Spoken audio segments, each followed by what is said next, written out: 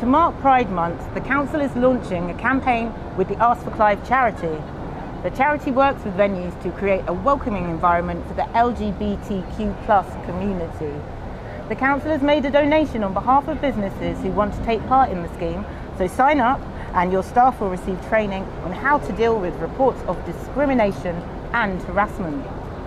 So I'm Danny from the Ask for Clive campaign, and we are super grateful for the contribution and commitment that uh, Kemi and everyone at Wandsworth Council has made towards delivering the Ask for Clive campaign to venues and businesses uh, across the across the district.